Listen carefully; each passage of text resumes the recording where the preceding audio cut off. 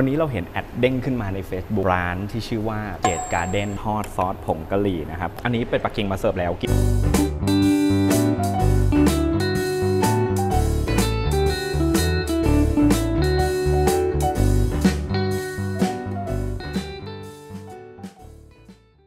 สวัสดีครับ คุณอยู่กับช anel ลายแทงช่องของคนชอบกินกับผมโอนะฮะ และนี่คือรายการรีวิวอาหารที่ละเอียดยิบเหมือนคนดูได้มากินเอง วันนี้เราเห็น ad เด้งขึ้นมาใน Facebook นะครับ ก็เจอร้านที่ชื่อว่า Jade Garden ก็คือเป็นภัตตาคารนั่นเองเขามี 2 สาขาวันนี้เราอยู่กันที่สาขาปิ่นเกล้านะครับ เป็นร้าน stand alone ไม่ได้อยู่ในห้างปัก GPS แล้วตามมาได้เลยนะครับคลิปนี้ไม่ใช่คลิปสปอนเซอร์นะครับจ่ายเงินทานเองแล้ววันนี้มาคนเดียวร้านนี้รับคนเดียวด้วย ที่นี่จะเป็นบุฟเฟ่ที่มีเวลาในการกิน 1 ชั่วโมงครึ่งนะครับจันทร์ถึงศุกร์เนี่ยเขาจะเปิด 2 รอบคือ 11โมงถึงบ่าย2แล้วก็5โมงเยนจนถึง4ทุ่มนะครับส่วนเสาร์และอาทิตย์ก็คือเปิด 11โมงจนถึง4ทุ่มด้วยกันร้านนี้ใหญ่มากๆนะตอนเข้ามาเนี่ยข้างนอกเนี่ยดูเหมือนเล็กแต่เข้ามาเดินเดินเดินขึ้นมาขึ้นมาชั้น 2 แล้วก็แบ่งเป็นห้องส่วนตัวแบ่งเป็นห้องชาบูใหญ่มากจริงๆพาเพื่อนมาสังสรรค์กันได้เยอะเลย แล้วก็ราคาของที่นี่นะครับเขาจะเริ่มต้นที่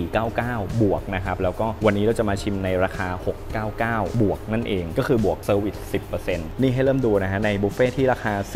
499 บวกมีเวลากินทั้งหมด 1 ชั่วโมงครึ่งฟรีเป็ดปักกิ่ง 2 ชิ้นต่อคนด้วยในราคานี้นะครับมีเนื้อออสเตรเลียวากิว US ช็อตเพลทมีปลากระพงมาแบบครึ่งตัวแบบนี้ด้วยเนื้อวัวหมักโบราณมีหมูไม้ไผ่มีผักต่างๆนะครับที่เป็น basic มีหอยเชลล์อัดทอดมีเป็ดทอดต่างๆนะครับเป็นเบอร์เกอร์ bun แบบนี้ก็มีมีไอศครีมแล้วก็ราคานี้รวมชาจีนเก๊กฮวยไอศครีมเอาไว้แล้ว แล้วก็มีหมั่นโถวทอดจิ้มนมข้นอันนี้คือ 499 บวกนั่นเอง ส่วนวันนี้ที่เรามากินนะครับก็จะเป็นราคานี้ วันนี้ที่เรามากินจะเป็นราคานี้นะครับบุฟเฟ่699 บวกนะครับก็คือเป็นเนื้อพรีเมียม Australian วากิวพับนอกสไลด์ US rib eye ลิ้นวัวนะฮะ เป็นเนื้อที่พรีเมียมขึ้นนั่นเอง แต่จะใช้โซนออสเตรเลียกับ US นั่นเองนะครับ เป็ดปักกิ่งสั่งได้ไม่อั้นเลยนะฮะมีเนื้อปลาเก๋า มีกุ้งวังด้วยนะฮะ มีหมูแดงฮ่องกง หมูกรอบ เนื้อเป็ดทอดกระเทียมไก่ตอนแช่เหล้านะฮะ ซุปเขาจะมีให้เรื่องแต่ซุปใส่ต้นตำดับกี้น้ำดำซุปหม่าล่าซุปพริกไทยดำต้มยำตอนนี้มีเราเพียงคนเดียวนะฮะ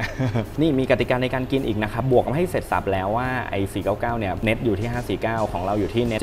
769าท สั่งได้ไม่อั้นนะครับแต่ละอย่างถ้าเป็ดปักกิ่งเหลือปรับชิ้นละ 100นะครับไม่ทันผักแจ้งก่อนได้ จะเสิร์ฟเฉพาะหนังเป็ดและแป้งให้ไม่สามารถไม่รับแป้งได้ ก็เป็นปกติอะเป็ดปักกิ่งคือเคยกินเป็ดปักกิ่งแบบหนังเปล่าๆค่อนข้างมันและเลี่ยนเลยนะเออกินคู่กับแป้งอาหารต่างๆเหลือปรับขีดละ 100นะฮะเศษของขีดรับเป็นนับเป็น 1 ขีดนะฮะดังนั้นเนี่ยค่อยๆ สั่ง อันนี้ก็จะเป็นใบในการสั่งอาหารนะครับแต่ละอย่างก็จะมี detail มีรายละเอียดมาเรียบร้อยแล้ว เนื้อวัตถุดิบที่เป็นของสดมาเสิร์ฟเร็วมากเลยครับลักษณะการตกแต่งโต๊ะเป็นแบบนี้ส่วนหม้อเป็นหม้อแบบพรีเมียมแบบนี้เลยเดี๋ยวเราจะมาแกะเจ้าสิ่งนี้ก่อน เมนูอาหารมาเสิร์ฟค่อนข้างเร็วเลยนะฮะก็วันนี้เป็นวันธรรมดาตอนกลางวันด้วยเนอะแล้วก็ทางร้านมีเราเพียงคนเดียวด้วย อันนี้เราเอาซุปใสต้นตำรับมาเดี๋ยวชิมก่อนนะฮะแล้วก็ด้านขวาเป็นซุปพริกไทยดำเฮ้ยกลมกล่อมหอมละมุนไม่ใช่แบบซุปใสเหมือนเวลาเราไปกินร้านญี่ปุ่นอะมันเป็นสไตล์จีนๆแล้วก็หอมนวลนวลขึ้นมา มีกลิ่นคล้ายๆ เหมือนกลิ่นสมุนไพรยาจีนเล็กน้อยเท่านั้นเองนะครับ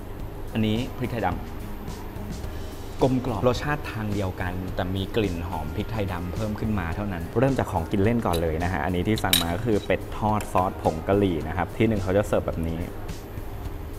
อืมร้อนๆด้านนอกเหมือนมีความชุบแป้งมานิดหน่อย มีความกรอบ crispy เล็กน้อยเนื้อเป็ดนุ่ม ไม่มีกลิ่นสาบของเป็ดเลย ซอสจะเป็นซอสมีความหวานๆเล็กน้อย คล้ายๆไก่เกาหลี แต่ว่าไม่ได้จัดมาก แล้วก็มีกลิ่นหอมของผงกะหรี่ที่โรยมา พอชั่นหนึ่งเสิร์ฟก็ไม่ได้เยอะมากจนน่ากลัวนะฮะ อันนี้ก็คือเป็นไก่แช่เหล้าก็คือกินคนเดียวเองพอได้เหรอ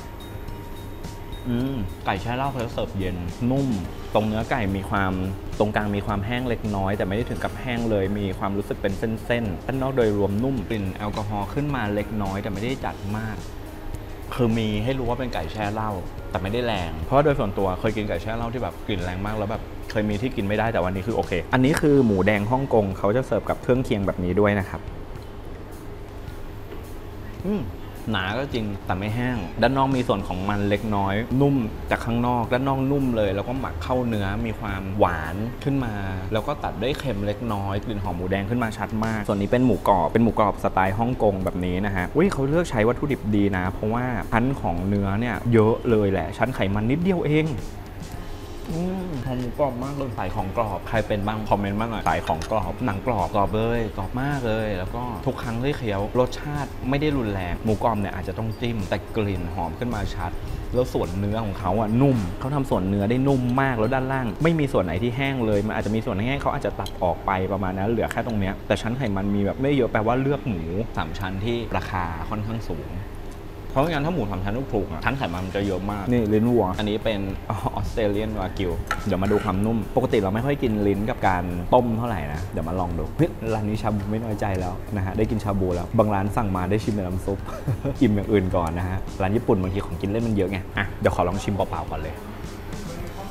มีกลิ่นเนื้อขึ้นมานิดนึง เป็นกลิ่นเนื้อที่เป็นสไตล์ Australian อะประมาณนั้น ลิ้นสัมผัสได้ถึงความเด้งและนุ่มอยู่ ตัวน้ำซุปเนี่ยมีกลิ่นพริกไทยดำที่ช่วยเข้าไปเคลือบแต่ว่าด้วยจากน้ำซุปเขาไม่ได้มีรสชาติรุนแรง ดังนั้นเนี่ยมันจะไม่มีรสชาติอะไร นอกไปจากรสชาติ original ของวัตถุดิบที่เป็นจืดๆเอานี้ละกันโหชิ้นใหญ่มากเลยนะเนื้อชิ้นหนึ่งนี่ถ้าไม่พับนี่แบบเท่าหนึ่งจานเลยนะอันนี้พวกเครื่องที่เขามีให้มาดูนี้กันมีอะไรบ้างน้ำจิ้มเป็ดปักกิ่งก็จะมีให้อยู่ตรงนี้ อันนี้เดาน้ำจิ้มหมูกรอบก็ไม่แน่ใจนะฮะแล้วก็อ่าอันนี้ก็จะเป็นพวกพริกกระเทียมแล้วก็น้ำมะนาวไว้สำหรับปรุงน้ำจิ้มตรงนี้นั่นเองเป็นน้ำจิ้มสุกี้แบบนี้ ดูสิโอ้โหใหญ่เบิ้มมากเดี๋ยวขอตัดก่อนนะฮะจริง ๆเขามีแบบกระชอนมาให้ด้วยนะที่เป็นกระชอนตักซุปแล้วก็กระชอนธรรมดาเออแต่อันนี้เรามากินคนเดียวไงก็เลยขออนุญาตใช้ตะเกียบละกันเนี่ยกระชอนที่เขามีให้นะฮะแต่เราอาจจะไม่ได้ใช้อะเดี๋ยวขอชิมแบบเปล่าๆก่อน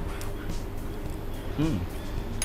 เป็นเนื้อวากิวที่มีให้เคี้ยว ลักษณะของเนื้อแบบเคี้ยวไปสัก2อสาครั้งจะค่อยๆ ฉีกขาดออกจากกันนะครับเมื่อกี้เราลองเทอันนี้ลงมาเดี๋ยวลองชิมเปรี้ยวๆหวานๆเดานะ พอหมูกรอบมาจิ้มนี้ช่วยเสริมรสชาติขึ้นมาอีกนิดนึง ทีนี้อันนี้เป็ดปักกิ่งมาเสิร์ฟแล้วกินได้ไม่อั้นเลยนะฮะในราคา 699 นะฮะ โอเค ก็ทำนี้เลยกางแป้งออกมา แป้งมีความมันเล็กน้อยแต่เนื้อแป้งเนี่ยนุ่มนะฮะจากสัมผัสตรงนี้วางนี้เป็นหนึ่งอันวางนี้เป็นหนึ่งอันวางเนื้อเป็ดเข้าไปโอ้นะฮะแล่แบบออกมาได้ดีมากๆเลย คือไม่มีส่วนไขมันที่ติดออกมา แล้วก็เอาน้ำจิ้มเป็ดปักกิ่งมาครับส่วนตัวเราเป็นคนที่ไม่ชอบใส่น้ำจิ้มเยอะ แต่ถ้าใครชอบเยอะก็ตามสะดวกเลยน้ำจิ้มไม่ได้ออกเป็นสีดำนะฮะออกเป็นสีใสๆแบบนี้ คือดูสีสันของเนื้อเป็ด ดูขนาดชิ้นของเนื้อเป็ด คือบอกเลยว่า คืออย่างที่เห็นอะเป็นเป็ดปักกิ่งที่แบบเหมือนไปกินตามร้านอาหารจีนดีๆ ซึ่งนี่ก็คือหนึ่งในร้านอาหารจีนดีๆนะ ไม่ได้เป็นเป็ดปักกิ่งแบบมาแบบเล็ก ๆ อะไรอย่างเงี้ย แบบเป็นพิธี คือแบบจริงจังเลยอืม คู่ควรกับคำว่าเป็ดปักกิ่งแป้งเหนียวนุ่ม คือมันมีส่วนหนึบนิดนึงอะแล้วมันก็มีความนุ่มหอมตั้งแต่แป้งแล้วเคี้ยวเข้าไปเนี่ยได้ความสวบของผักขึ้นมา มีกลิ่นมีรสขมของตัดขึ้นมาเล็กน้อย ส่วนเป็ดเนี่ยมันเสริมความกรอบบวกไปกับความกรอบของผัก แล้วมันได้ความมันเล็กน้อยขึ้นมาเสริม แล้วกลิ่นหอมของเป็ดน้ำอันเนี้ยเนื่องจากไม่ข้นมากมีความหวานหวานนำเลย แต่ว่ามีกลิ่นหอมขึ้นมาด้วยชอบประทับใจเป็ดปักกิ่งที่นี่ลืมจิ้มเออที่เนี่ยเขามีเป็น a la carte ด้วยนะ คือแบบไม่ได้มีแค่ชาบู เป็นร้านอาหารจีนปกติน้ำจิ้มสุกี้มีความหวานกับเปรี้ยวแข่งขึ้นมา คือตอนแรกเปรี้ยวมันจะเหมือนขึ้นมาก่อนแล้วว่ามีความหวานขึ้นมานำแซงแล้วก็เอาเผ็ดตัดปรุงน้ำจิ้มเล็กน้อย ก็คือใส่ทุกอย่างลงไปเล็กน้อยนะครับ มันก็จะเร่งกระเทียมกลิ่นอะไรพวกนี้ขึ้นมาอีก มันก็จะช่วยในการตัดกลิ่นของเนื้อในแนว Australian แต่บางคนชอบไงบางคนที่แบบเป็นสายสเต็กสายเนื้อโทนเนี้ย มมันจะตัดกลิ่นของเนื้อออกหมดแต่ยังคงเหลือไว้ตอนท้ายเล็กน้อย นี่ลงแป๊บเดียวเองนะ ไม่ต้องนานเพราะเดี๋ยวมันจะโอเวอร์คุกเกิน เนื้อเขาใช้ค่อนข้างลีนลีนคือไม่ค่อยมีไขมันเยอะดังนั้นพวกกินเนื้อลีนๆแบบนี้เนี่ยไม่ค่อยรู้สึกผิดกับการลดน้ำหนักเท่าไหร่ บางคนบอกว่าควรรู้สึกผิดตั้งแต่ เดินเข้าร้านบุฟเฟ่ต์แล้ว มีปลาเก๋าด้วยนะฮะอืมปลาเก๋านี่ซุปแบบนี้เลยฮะ อันนี้คือหมู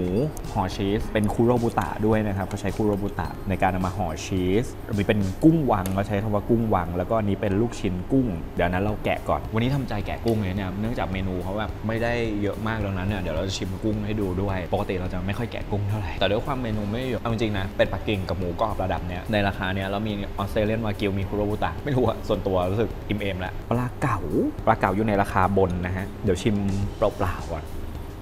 อ้อเนื้อนุ่มและแน่นมีกลิ่นคาวเล็กน้อยตรงหนังเหนียวหนึบขึ้นมาเด้งๆอะสปริงนิดนึงอันนี้เป็นคุโรบุตะห่อชีสอะอีกหน่อยแล้วกัน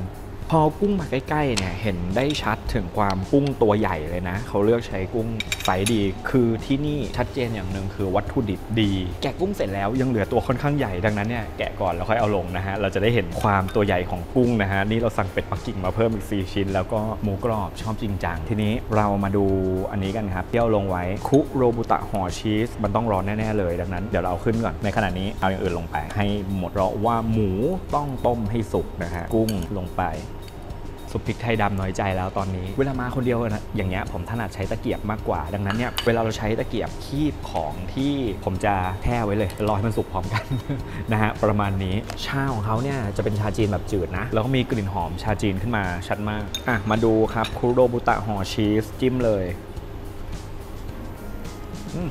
นุ่มความคุโรบุตะมันนุ่มอะแล้วพอเคี้ยวเข้าไปเจอชีสยืดยืดอยู่ข้างในชีสไม่เหม็นเป็นชีสนุ่มๆ มันๆ หอมๆ แบบนั้น หมูกรอบรสที่ 2 นี่ก็ยังเป็นชั้นที่เนื้อเยอะเหมือนเดิม มันกรอบดีจะเอาลูกชิ้นขึ้นก่อน ตอนที่ลูกชิ้นสุกแล้วเนี่ยเขาจะมีความตะปุ่มตะป่ำมากขึ้นกว่าเดิมนะ เวลาจะคีบอย่างนี้อย่าใช้แรงในการคีบเยอะ หรือจะใช้หา center ของเขานะฮะ แล้วก็เอาตะเกียบแทงเข้าไปเลย อันนี้คือวิธีการคีบลูกชิ้นที่ง่ายที่สุดในโลกแหละ กุ้งครับโอ้ตัวใหญ่อยู่นะ ไม่หดเห็นไหมไม่หด ก็ต้องจิ้มสักหน่อยแหละกรอบหอมกุ้งกรอบเลย ใส่กุ้งน้องชอบ ลูกชิ้นเมื่อกี้เราตัดครึ่งค่อนข้างมีความหนักนะฮะ ตัดไปเนี่ยรู้สึกได้เลย จิ้มหน่อยอแน่นเด้ง ความแน่นความเด้งของเขานะ ความกุ้งนี่ขึ้นมาแบบเยอะมาก อารมณ์ประมาณแบบไส้ติ่มซำดีๆ ที่แบบสัมผัสได้ถึงความกุ้งเลย เยอะกว่านี้ก็กินกุ้งหอมด้วยหอมขึ้นมาไปเป็ดปักกิ่งต่อสวิชมาที่ของหวานเราสั่งมันโถทอดกับไอติมมาไอติมเขามีหลายรสมากเลยนะฮะ วันนี้เราเลือกกินเป็นกะทิกะทิก็จะเป็นกะทิที่ข้างในเหมือนมีรสช่องแบบนี้อยู่ด้วย ไอติมกะทิดีหอม หวาน นวล เนียน มันกะทิมา ไอตัวช่องข้างในคือแข็งๆ เป็นเกร็ดนิดนึง มาที่ของหวานอย่างสุดท้ายที่เราจะชิมกันในวันนี้นะฮะ ลูกใหญ่เหมือนกันนะ ด้านนอกกรอบด้านในนุ่มอารมณ์แป้งซาลาเปาธรรมดาแต่มันไม่ได้เหนียวนุ่มแบบซาลาเปานะเป็นแป้งนุ่มๆมีความหวานอยู่ในตัวอยู่แล้วด้วย ไม่อมน้ำมันมากเท่าไหร่ นิ้วมีความมันขึ้นมาเล็กน้อยเวลาจับ แต่ด้านนอกกรอบคริสปี้ดีถ้าจะสรุปกับที่นี่นะครับเป็นร้านหนึ่งที่บุฟเฟ่ราคาไม่ถึงพันแต่ประทับใจเพราะว่าได้วัตถุดิบที่ดีมาก ๆเลย เมื่อเทียบกับราคา แล้วก็ได้กินเป็ดปักกิ่งที่ที่คุณภาพเป็ด คุณภาพวัตถุดิบดี แป้งดีซอส ไม่หนักเกินไป ไม่หวานเกินหวาน แล้วมีความหอมอยู่ด้วยนะครับวัตถุดิบดีมีปลาเก๋า มีปลากระพงด้วยในราคานี้ดังนั้นเนี่ยปลากระพงไม่ได้ชิมให้หลายอย่างไม่ได้ชิมให้ แต่ว่าเห็นวัตถุดิบคร่าวๆ แล้ว อาจจะไม่ได้เด่นในเรื่องเนื้อ แต่ว่าการที่เลือกใช้ออสเตรเลียนวากิวของเขาก็ถือว่าทำได้ดีเลยทีเดียวนะฮะดังนั้นเนี่ยถ้าใครมาวันอื่นแล้วเหมือนไม่เหมือนยังไง ก็มาคอมเมนต์กันเอาไว้ได้ใต้คลิปเลยนะฮะชอบไม่ชอบแต่ละคนมีของชอบไม่เหมือนกันอะมาแชร์กันเอาไว้ได้เลยนะครับแล้วก็สุดท้ายก่อนจะจากกันไปถ้าใครอยากสนับสนุนหรืออุดหนุนโอกับเมย์นะครับเรามีประสบการณ์ในการออกแบบโปรแกรมลดน้ำหนักเฉพาะบุคคลมาแล้ว โปรแกรมสุขภาพก็ทำได้นะครับบางคนอาจจะไม่ได้อยากลดน้ำหนักเยอะแต่อยากกินอาหารดีๆอยากออกแบบโปรแกรมดีๆ เพื่อดูแล อันเนี้ยมาพูดคุยกันก่อนได้เลย ในการพูดคุยออกแบบโปรแกรมไม่มีค่าใช้จ่ายแต่อย่างใด เพราะว่าทั้งหมดเนี่ยต้องการการดูไลฟ์สไตล์เป็นยังไงของชอบเป็นยังไงวิถีชีวิตเป็นยังไง แล้วก็มาพูดคุยออกแบบกันอีกครั้งนะฮะทักเข้ามาได้ที่ไลน์น้องเมย์เมโลโมเม M E L O M O M A Y ได้เลยนะครับมาพูดคุยกันก่อนถ้าตกลงกับราคากับระยะเวลาค่าใช้จ่ายยังไงก็ดีลกันได้เลยนะฮะแล้วแล้วก็ฝากติดตามช่องครูพี่โอเอาไว้ด้วยนะครับกับการพัฒนา soft skill พัฒนาทักษะการพูดพัฒนาทักษะการสร้างชีวิตการสร้างธุรกิจต่างๆครับใน Facebook Fanpage แล้วก็ใน YouTube ได้เลยครูพี่โอนะฮะแล้วก็ถ้าใครอยากพูดคุยเกี่ยวกับร้านบุฟเฟ่ต์อยากทิ้งลายแทงร้านใหม่ๆ เอาไว้ให้นะครับ Facebook กลุ่มลายแทงเว้นวรรคบุฟเฟ่ต์ได้เลย แล้วสุดท้ายอย่าลืมกดไลค์กดแชร์แล้วก็กดติดตามช anel นี้เอาไว้ครับลายแทงช่องของคนชอบกินแบบนี้ครับกับการรีวิวที่ละเอียดยิบแบบนี้แล้วเจอกันใหม่คลิปหน้าวันอังคารและวันศุกร์ตอน5โมงครึ่งครับอย่าลืมกดกระดิ่งด้วยนะวันนี้ไปก่อนแล้วบ๊ายบายครับ สวัสดีครับ